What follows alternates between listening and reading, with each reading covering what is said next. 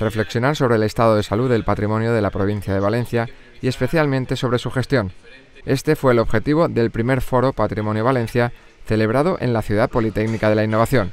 Y el diagnóstico fue claro. Hay pocos recursos, que debería haber más recursos y que en realidad la conservación y, la puesta en valor del patrimonio no es un tema anecdótico, no es un tema, digamos, prescindible, sino que yo creo que es, fundamental para el bienestar de, para la cultura de, de los ciudadanos. El encuentro fue organizado por el Instituto de Restauración del Patrimonio de la UPV, referente en este campo, y contó con la participación de más de una veintena de municipios valencianos. Lo que más podemos aportar es, conocimiento y eh, asistencia técnica experta a, a la gente que tiene que gestionar y administrar el patrimonio.